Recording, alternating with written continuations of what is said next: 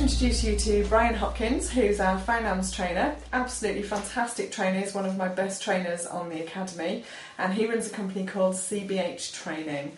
So, Brian, tell us about when you started CBH. We started CBH training uh, eight years ago in 2002, and it started. My, my background is manufacturing, um, and I was operations director of a company, well, two companies for about 15 years prior to starting the business, and I've been at director level for quite a lot of years and ran my own business prior to that. But uh, we felt we wanted to start CBH by taking a different approach to training, working a lot with clients, and then using the skills that we had, the practical skills that we had, hence a lot of work in the project management and in the finance arena. Great stuff. And what are the areas that you and Carol really focus in on at CBH? We focus heavily on um, project management, financial management, and business management are the keys.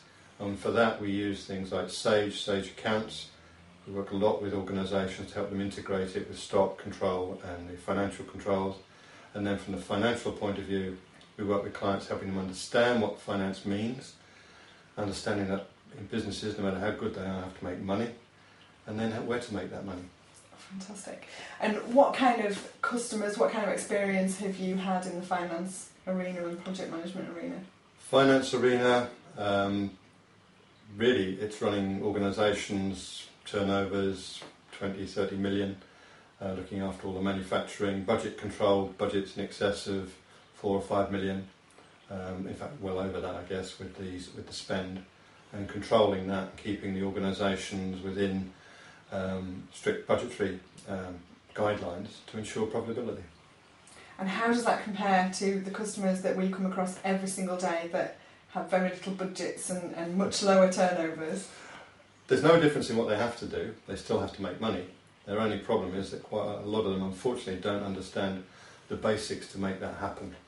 And the basics are the same in all industries, and once you understand what they are, then you start to make money. Great stuff. So, what are your top tips for the businesses watching this hmm. interview? What can they take away? Firstly, well, there's several. One is that the accountant works for them, not them for the accountant, which means that you question the accountant on all figures that they give to you. The second is to understand where the finance is within the business. No matter what the technology, no matter what the, the ideas and, and the understanding that goes into developing the business, you need to understand the finance. No business will succeed without good finance and good financial control. So once they get that in place, then you start to move forward. Um, and that really is, is the sort of underpinning of the whole thing. Where's the profit? Where's the costs? What's the overheads?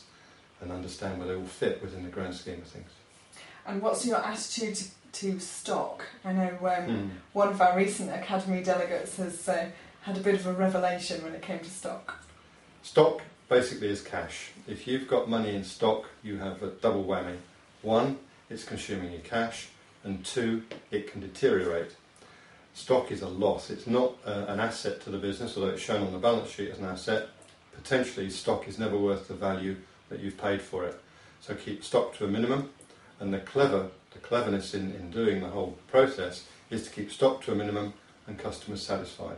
And it's a really strange thing, but my experience has shown that companies with high stock quite often have stock outs. They lose stock because there's so much mass in the stock itself.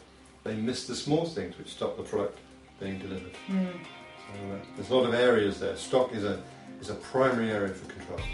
Fantastic. Okay.